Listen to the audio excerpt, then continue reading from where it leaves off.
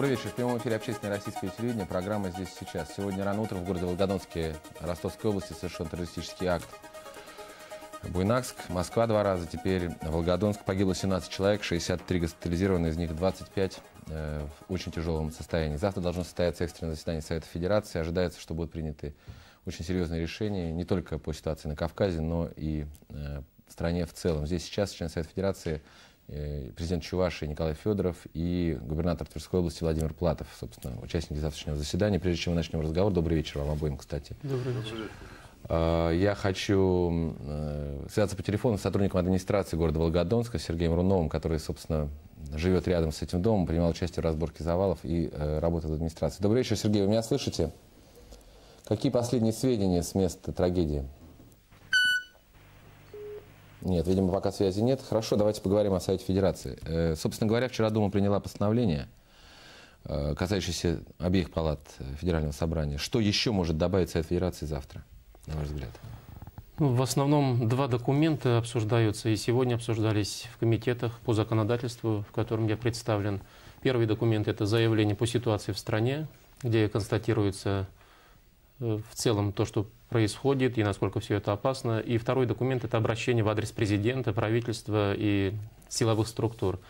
С моей точки зрения, пока все-таки это в большей степени декларации и жест отчаяния и со стороны государственного органа, федерального собрания. Это моя личная оценка, потому что мы не можем говорить, что нет необходимых ресурсов на самом деле, что повторяет и президент Российской Федерации, для того, чтобы побороть бандитизм и терроризм. Их нет. Их нет. В том смысле, что э, не работают государственные институты. Э, вот мы анализировали в Комитете по законодательству, есть ли э, правовые препятствия для того, чтобы бороться с преступностью и терроризмом. И как э, мы констатировали, эксперты говорят, что можно бороться со всеми этими безобразными явлениями, с жуткими явлениями. И э, пользуясь сегодняшним законодательством. И нет необходимости, обязательной необходимости вводить чрезвычайное положение. Можно работать, можно использовать, кстати, и вооруженные силы нашей ядерной державы в случаях по закону действующему, когда возникает угроза целостности Российской Федерации, либо агрессия внутри России, либо из-за пределов России. Так что правовых проблем нет. Надо просто исполнительной власти действовать так, как положено действовать государству, если оно есть, это государство и государственные институты. Вот в чем проблема. Не право, не конституция, не сама государственность, а конкретные люди, возглавляющие конкретные структуры, должны действовать по закону, э, имея волю профессионально и умно. Вот в основном проблема паралича воли государственной и бездеятельности государственных органов. Поэтому будет в основном, к сожалению, пожалуй, только призыв, призыв э, к президенту, призыв э, к правоохранительным органам работать активно и энергично, защищая основную ценность – безопасность граждан. И здесь, кстати, вот проблема приоритетов, мы очень так мягко задели, но мне кажется, надо более акцентированно говорить. Все нас пугают расчленением либо разрушением целостности российского государства. Вот, Александр Михайлович, мы снова и снова повторяем э, ошибки прошлых лет. Если вдруг возникает э, коллизия между двумя ценностями, как территориальная целостность государства и вторая угроза, угроза реальная массовых грубых нарушений прав человека, в данном случае убийств массовых, когда каждый день сотни человек убивают. Что надо выбирать? Такую ценность, как территориальная целостность, она очень существенна для вас. Либо надо охранять государству безопасность граждан. Важный вопрос. Я думаю, что, собственно, для этого политики и призваны, например, собираться, скажем, на Совет Федерации, чтобы в том числе говорить и об этом. Потому что Безусловно. если пока нет приоритета, то, собственно, мы не понимаем, э, что нам важнее. Делать границу или э, твердить о том, что у нас действуют Хасавюрские соглашения, например. Да. Я, я прерву вас, Николай Васильевич, все-таки с нами на связи Волгодонск, правда, другой наш источник, это Иван Тетерин, руководитель Северокавказского центра МЧС. Добрый вечер, Иван Михайлович. Скажите, э, последние данные все-таки, сколько человек погибло? Сейчас на данный момент погибших из них двое детей.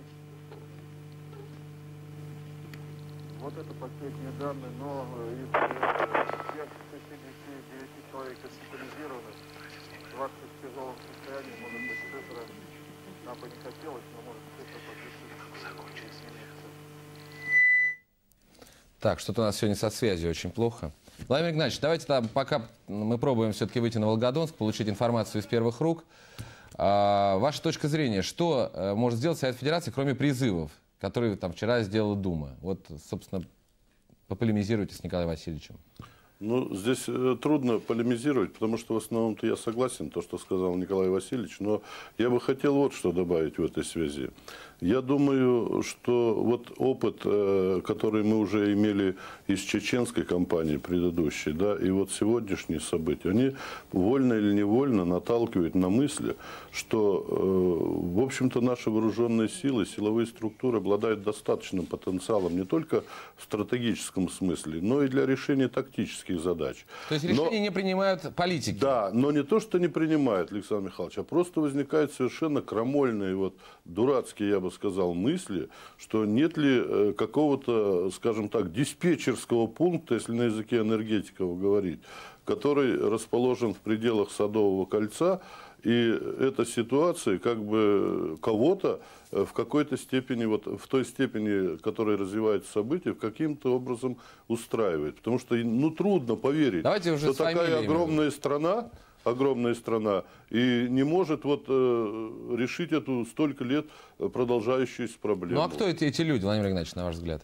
Ну, кто люди? Наверное, те, кто обладает реальной властью, скажем так.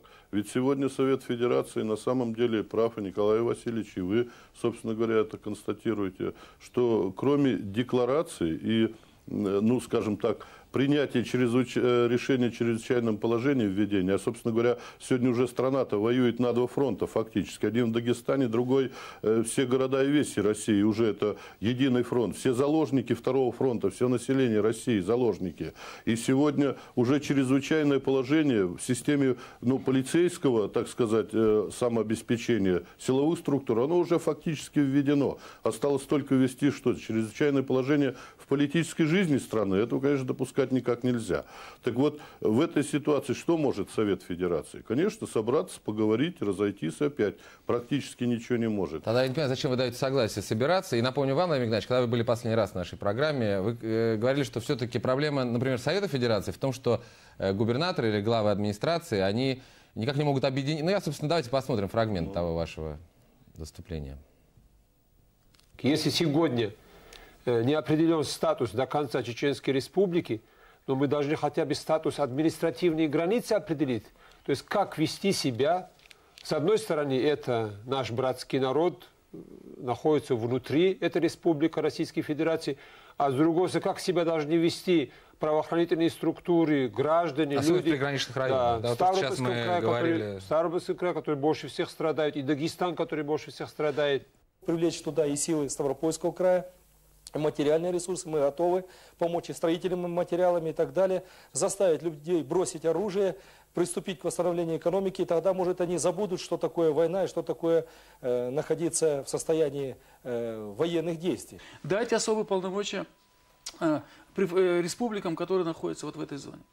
Измените э, там, работу прокуратуры, измените работу МВД, дайте численность, дайте вооружение, дайте э, возможность нам подготовиться. И плюс экономический вопрос. Надо выбить молодежь, которая поступает сегодня в отряды. Пусть они работают.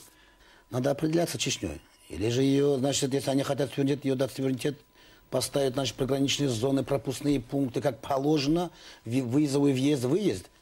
Или же, если он считается, значит, э, Российская Федерация, значит, наводит порядок. Строит, разрушенные, работу дать людям. Александр, поверьте мне, вот те деньги, которые сегодня вбухали в эту войну в Дагестане, если бы раньше центр отдал бы на развитие Дагестана, ни вагабистов не было бы, ни анархистов, ни монархистов не было бы. Собственно, я хотел э, в качестве видеосвидетельства показать, э, э, Владимир Игнатьевич, как вы у нас говорили, что главная проблема, что члены Совета Федерации не могут объединиться вокруг э, проблем страны в целом. Ну, да бог с ним. А, давайте поговорим о том, вот этот э, карантин. Предположим, что все-таки государство вдруг опомнилось. Что, собственно, реально можно сделать, например, в течение месяца на границе с Чечней? Вот э, мне кажется, вот Руслан Аушев, он сказал правильно, но только, как говорят шахматисты, перепутал порядок ходов. Надо сначала не особые полномочия вводить и давать в системе силовых ведомств, а надо действительно сначала позаботиться и подумать о создании рабочих мест. Потому что, понятно, если толпы людей ходят без работы друг за другом и не знают, как прокормить себя и свою Ну, это, семью, так сказать, это, да. это, это за месяц не решишь. Естественно. Но там создается совершенно ясная картина нарисована. Мы, мы с вами, кстати сказать, не знаем Хасавюторские соглашения, какую сумму федеральное правительство туда постоянно направляет. Это как бы тайна за семью печатями. Мы даже не знаем, какой у нас консолидированный бюджет. Да. Николай Васильевич, что за месяц, Так вот- например, может... Да, прошу прощения. Да, я прошу прощения. Так из этих средств, которые туда направляются, есть очень большое подозрение обоснованное, что она значительная часть просто разворовывается, не доходя до решения тех целей и задач, ради которых туда эти средства направляются. Спасибо. Я убежден, что надо нам, политикам российским, депутатам Госдумы членам Совета Федерации, перестать цепляться за Чечню, перестать цепляться за такую ценность, как территориальная целостность Российской Федерации. Если за такую целостность надо нам платить такой ценой, что каждый день, каждые сутки сотни женщин, детей, беременных женщин, стариков э, погибают, то это не та ценность, ради которой надо жертвовать. Поэтому надо э, четко сказать нам, депутатам, вооружить такой правовой формулой президента, что приоритет э, прав человека, безопасности граждан, здоровья, жизни граждан, безусловный приоритет. Это единственный абсолют в политике вообще. Надо сохранять жизни людей, наших москвичей, э, волгодончан, других э, регионов России. Поэтому Чечню надо отдать туда, куда они хотят уйти. Другой возможности нет. И это, конечно, очень болезненно, тяжело и где-то опасно, но это менее опасно, чем что э, сейчас сегодня происходит. Раз совершили ошибку в прошлом, э, начиная войну с Чечней, политики, ну нельзя допускать, чтобы каждый день за это расхлебывали наши люди, россияне во всех Ну, регионах. объ- на мой взгляд, объявление э, Чечни независимым государством вот в этих условиях это дешевле обойдется. Ну, в данный момент это ничего не меняет. Все равно, э, так сказать, границы у нас нет, защититься мы от них не можем. Нет, Александр Михайлович, вы не правы. Если мы сегодня не дадим эту свободу или суверенитет вот этой территории, то через месяц как раз нам придется уже говорить о Чечне совсем в другом территориальном пространстве. Чечня уже будет вести переговоры с нами, или Масхадов, или где угодно, не в той территории, которая сегодня находится, а с территории, которая выходит и на Каспийское море. Я в этом убежден. То есть будет другая территория Чечни через месяц или через два. Поэтому надо спасать, э, отдавая меньшее, более дорогую ценность для россиян, в целом государства и граждан. У нас есть связь с чеченской границей. Глава администрации Бабаюрта э, Беслан Касимов. Скажите, действительно вдоль границы скопилось такое количество боевиков? Объявляют 2-3 тысячи человек, они в любой момент готовы э, вторгнуться в Дагестан. Что у нас сегодня телефон работает хуже, чем телевидение, намного. Сколько боевиков скопилось сейчас на границе?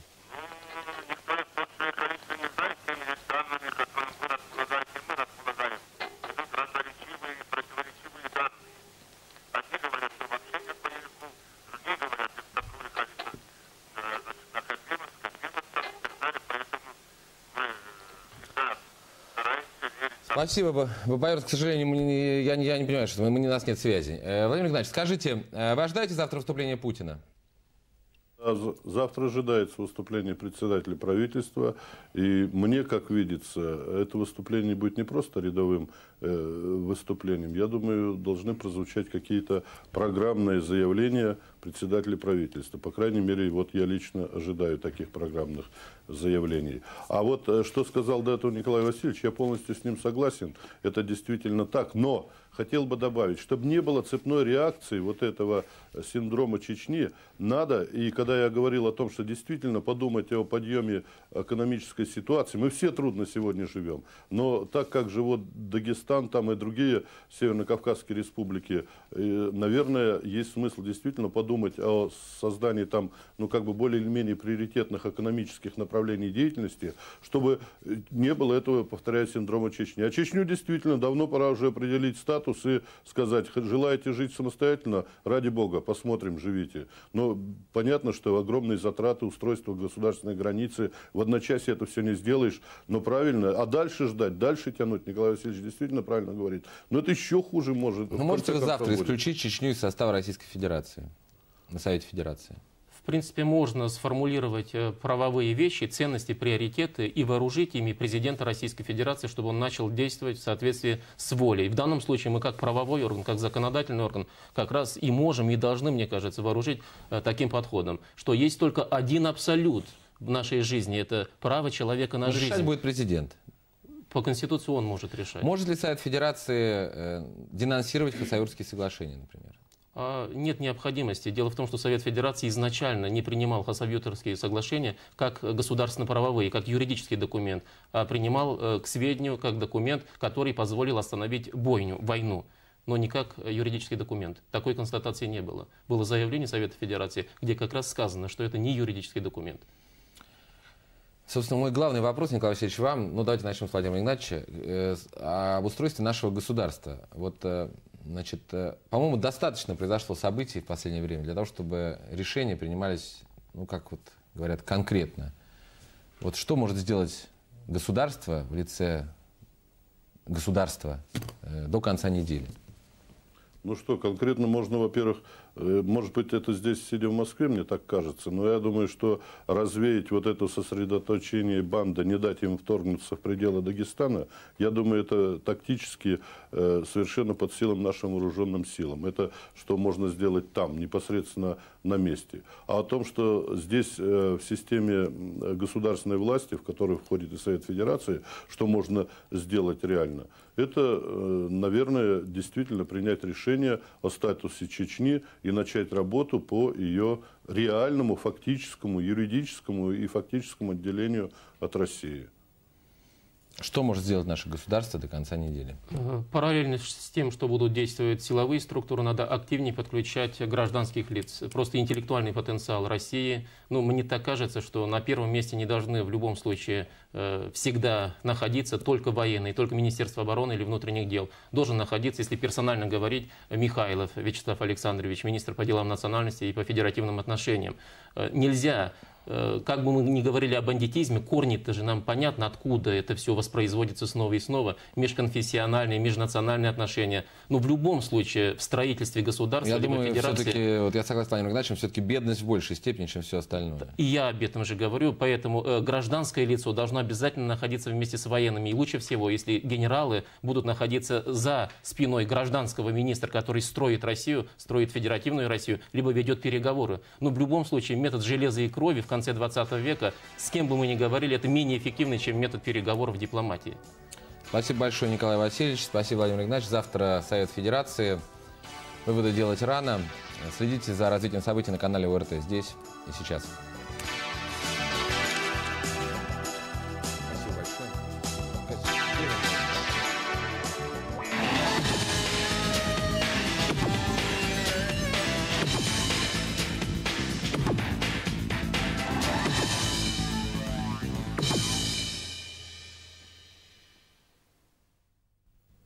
Телекомпания «Вид» по заказу ОРТ.